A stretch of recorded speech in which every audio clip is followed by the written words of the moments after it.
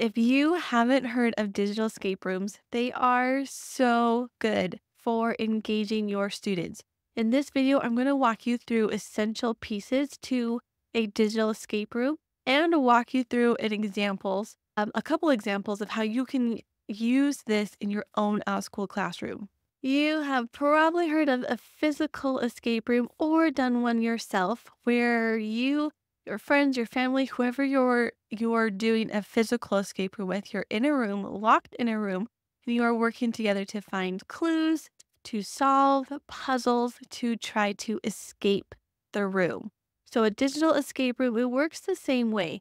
Your students are finding clues. So essentially, instead of a room, your students are exploring a Google site your your escape room could be housed in Forms, Google Forms, or Google Slides. I love Google. Students are looking for clues created with pictures, created with text. Um, you can link to other websites. So students are actually learning as they're going through the escape room. No fluffiness. Let me show you two examples of digital escape rooms that I have created, one using Google Sites and one using Google Forms. So let's see what these look like.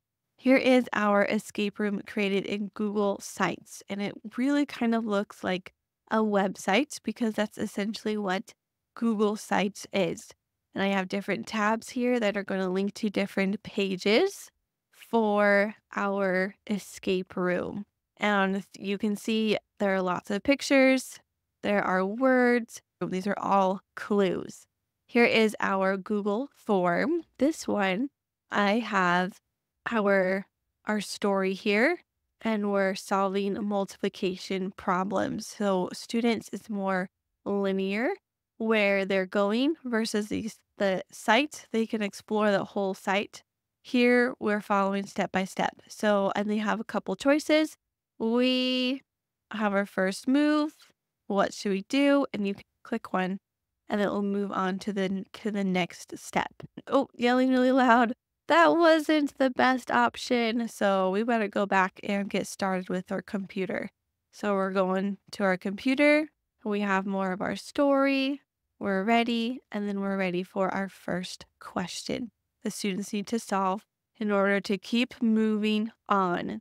At the end of the month, I am going to be showing teachers how to create their own digital escape room with Google Forms and be able to customize it to your subject, what you're teaching, and teach with it inside your own Outschool classroom. I'm so excited for this workshop. It's been a much requested workshop to teach you guys how to create your own digital escape rooms. So these escape rooms, they do look different, but they all have the same components that make them running our digital escape rooms, they need to have these essential components to make the escape room engaging, make it actually work and fun while students are learning. Those the those three things are story, clues, and a lockbox. So our lockbox. So much like in a physical escape room, you have that that key, that lock on the door, or you're unlocking various doors inside the room. You're unlocking cabinets to try to further find your clues. We need a type of lockbox inside our digital one. We can't use a physical key. So Google Forms is like the perfect lockbox because Google Forms, the way you can set it up, it will self correct your students and actually tell them if they have the answer right or wrong as soon as they type the answer in, much like a physical lock. So we have this example here. We have this question. We have the here our answer. And let's just type in an answer. And I'm going to click next. Oops, that wasn't correct. I have to type in the correct answer, which is 48 in order to move on. I cannot move on unless I have that one. So lock boxes. Google Forms, fantastic. Uh, next is our clues.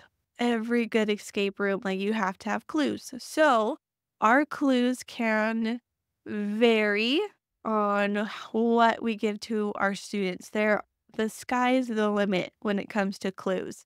In this example, our Google form example, escape room, our clues are essentially what I want my students to practice. So this one here is our multiplication one. We're solving word problems, our clues, also sprinkled in to the story. So here we finally unlocked our computer. We remembered our password. We unlocked our computer. We're looking for more clues. So we need to look in some file folders. Let's just click this one. Next. Now we're that's our clue. It's kind of built into our story. Um, we look into it. We're ready to take a closer look at the message. And we're on to our next question that I want my students to practice. The last one is our stories. So important because, like a physical escape room, that room is completely transformed into what you are escaping. I did one with friends once and we were escaping the shed, a shed. So, you know, there are garden tools up on the wall. There are um, scarecrows, just things you would find inside a shed. That totally transformed the room and it really helps you put yourself into that story. So, in a digital escape room, that story is so important. So, we go, we are setting up the story the very beginning. So, this story, we've, you know, we're trying to catch the leprechaun. So, we just built the leprechaun and catcher 3000. And somehow it went off. I accidentally pushed a button, and now we're trapped inside the leprechaun 3000. We need to get out of it. Meant for the leprechaun, but it, we trapped ourselves instead. So, we're going through all of these clues to escape this room. So I'm really telling the story. I set up the story and then through the pictures that we have into our our story. You can see we are trapped. I'm really telling that story. And then built in our I themed the questions related to the theme here. So all of these multiplication word problems have to do with the story as well to go into that that theme. So there is our digital escape room. Digital escape rooms are such a fun way to engage your students as you are practicing your math problems, reading, reading comprehension, science, history.